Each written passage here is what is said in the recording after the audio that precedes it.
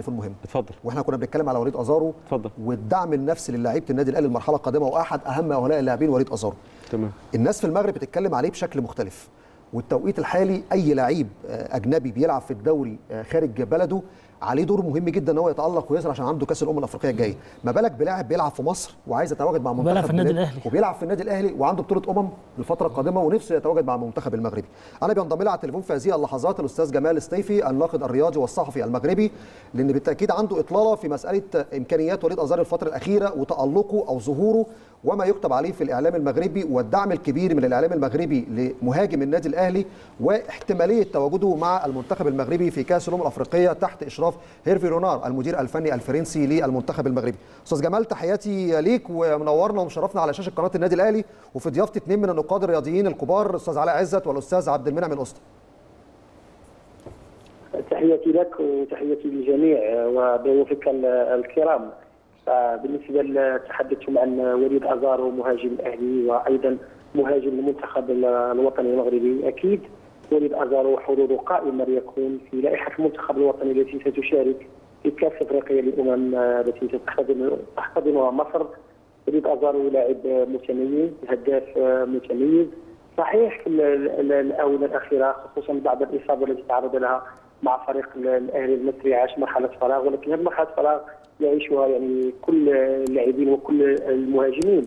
الاونه الأخيرة نوحد أن وليد أزارو لديه تاثير إيجابي في المباراة الأخيرة مثلا أمام المصري. صحيح لم يسجل لكنه كان وراء تمريرة هدف وكان وراء أيضا الحصول على ضربة جزاء. أيضا في مباراة سان داونز الجنوب افريقي قدم أداء متميز في مباراة الإياب يعني آه، في التي جرت يعني ببرج آه، العرب.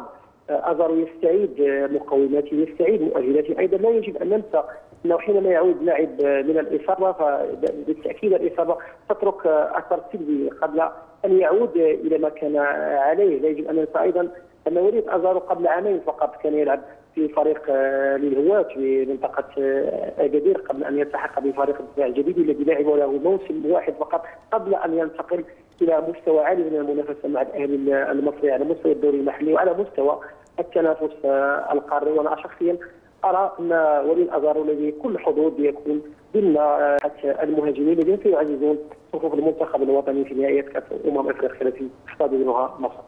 هناك اتصالات واهتمام من المدير الفني الفرنسي للمنتخب المغربي هيرفي رونار وإجراء اتصالات خلال الساعات الأخيرة مع وليد أزارو.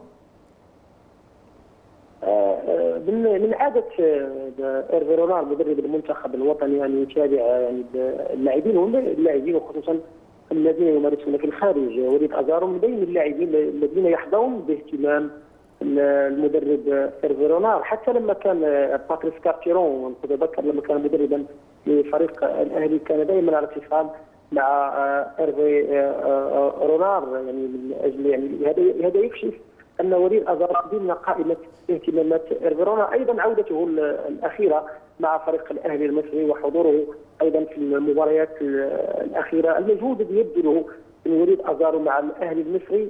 وليد ازارو ال profile الذي يفضله بنوعية اللاعبين الذين يفضلهم إيرفي رونار لأن إيرفي رونار يفضل اللاعب قلب الهجوم الذي يكون هو الخط الأول للدفاع والذي يضغط على المنافس. وهذه المواصفات يعني يعني تتواجد في وليد أزارو الذي يبقى كما قلت لك مرشحا بقوة ليكون ضمن لائحة المنتخب ال- الوطني خصوصا أن المق- أن كأس أفريقيا الأمم ستقام في مصر ووليد أزارو استأنس بأجواء مصر استأنس بمناخ مصر واستأنس أكثر بملاعب مصر.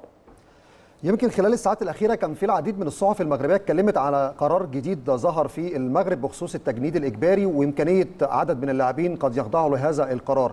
هل اللاعبين المحترفين اللي خارج المغرب آه، بيسرع عليهم هذا القرار كوليد أزارو ولا هذا القرار بعيد تماما عن هذا الموضوع؟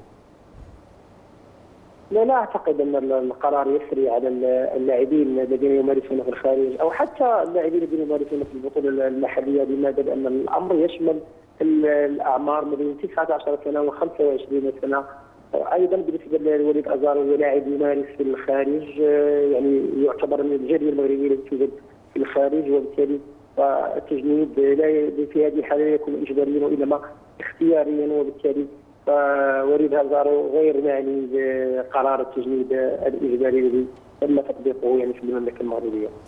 أستاذ جمال الصيفي الناقد الرياضي المغربي بشكرك على هذا الحوار وعلى هذه المعلومات. قال لنا موضوع مهم جدا وفي توقيت مهم. أستاذ جمال أنا بشكرك شكرا جزيلا.